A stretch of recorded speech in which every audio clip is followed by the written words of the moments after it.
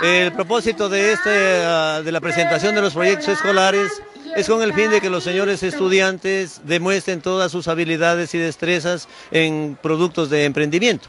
Eh, proyectos que son preparados con los docentes y los estudiantes con miras a solucionar diferente problemática que tiene nuestro país. Con este propósito, la Escuela Fiscal Mixta John F. Kennedy de esta ciudad llevó a cabo la casa abierta en la cual los estudiantes expusieron varios trabajos que durante el año lectivo fueron elaborados con el apoyo de sus docentes y de los padres y madres de familia. El objetivo general de nuestro club es resaltar la importancia del reciclaje como estrategia para promover el arte, destacando la creatividad, sensibilidad artística y sentido de pertenencia.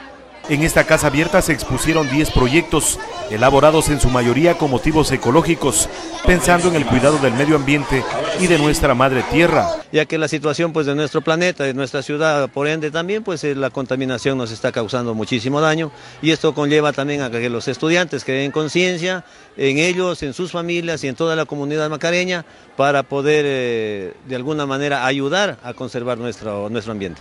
Para la representante de los padres y madres de familia de este establecimiento educativo, la organización de este tipo de eventos permite y refleja el trabajo que se realiza en cada una de las aulas.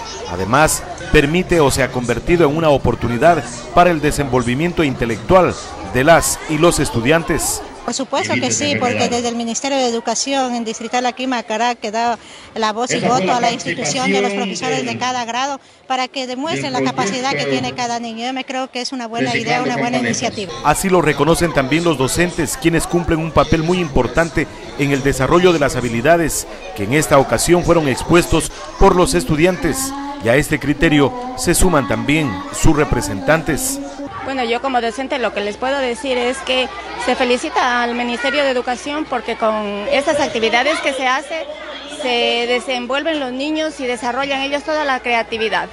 Eh, presentando todos sus trabajos manuales. Entonces, con esto yo pienso de que este, el niño desarrolla, eh, aprende, crece y... Muy bueno, de esa manera los niños se entretienen en algo y participan y aprenden a reciclar para conservar nuestro medio ambiente, que es muy importante.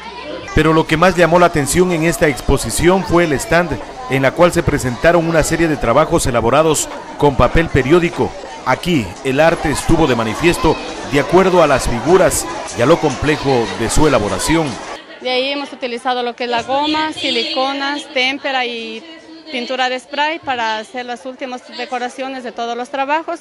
Los trabajos realizados por los estudiantes consisten en cestas elaboradas con periódico, canastas igualmente con periódico, tenemos el árbol navideño elaborado con periódico, el nacimiento, tenemos lo que son carteras, cisnes, portaservilletas, reloj. Para Macará TV, Milton Gómez,